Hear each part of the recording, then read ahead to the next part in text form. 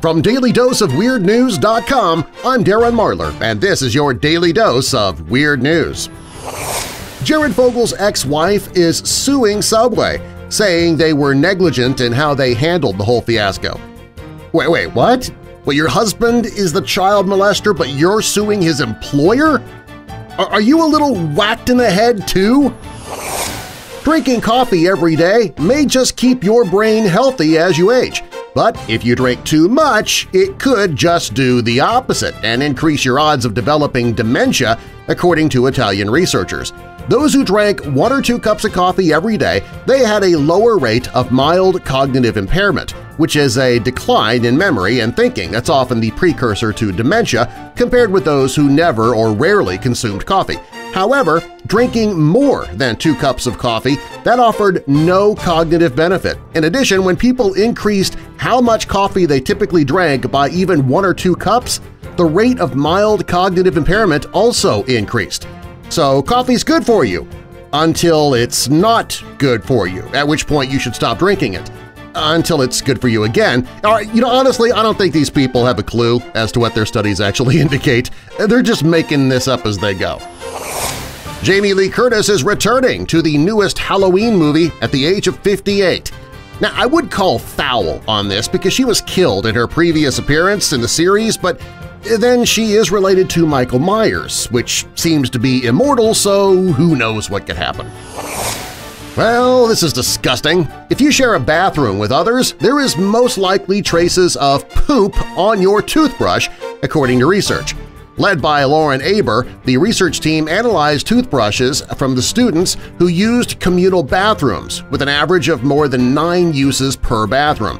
At least 60% of the toothbrushes were contaminated with fecal matter, no matter how the toothbrush was stored. In addition, there was an 80% chance that the fecal matter found on the toothbrushes came from someone other than the toothbrush's owner. Man, you know, I'm, I may have to start brushing my teeth in the kitchen Either that or start pooping in the garage.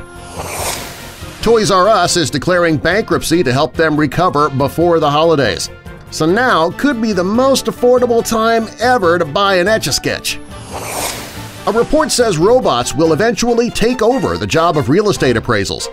You can still bribe the property inspector, though. You just need to switch out the cash for WD-40 and electrical tape. It's come to this. But just doing your job and sitting at your desk all day, you could be raising your risk of death. A lot. How? It's your chair. It's a killer. People who sit 11 or more hours a day are 40% more likely to die over the next three years, no matter how physically active they are the rest of the time, reports a study from the University of Sydney in Australia. What can you do? Well, if you sit long hours at work, spend your leisure time on your feet. Meaning I should be dead by now. A study says being generous makes people happier. You know, I gotta admit, when somebody's generous to me, that makes me happier. Speaking of generosity, today's Daily Dose of Weird News is dedicated to my friends at Cross International. A single gift of $60 will feed a child for a full five months in Kenya and South Sudan. I made my gift and sponsored three children, but I'm only asking you to sponsor one – a single one-time gift of 60 bucks. Call 866-822-4883 to donate now. That's 866-822-4883 or you can give online by clicking the Cross International banner at dailydoseofweirdnews.com. And thank you in advance for being a generous weirdo. If you're already an official weirdo, please share this video on Facebook, Twitter, Reddit, and other social media to help get the word out. To become an official weirdo, click that subscribe button and click that little bell next to the subscribe button to be a part of the notification squad. And while you're at it, click that like button to let the world know that you are an official weirdo.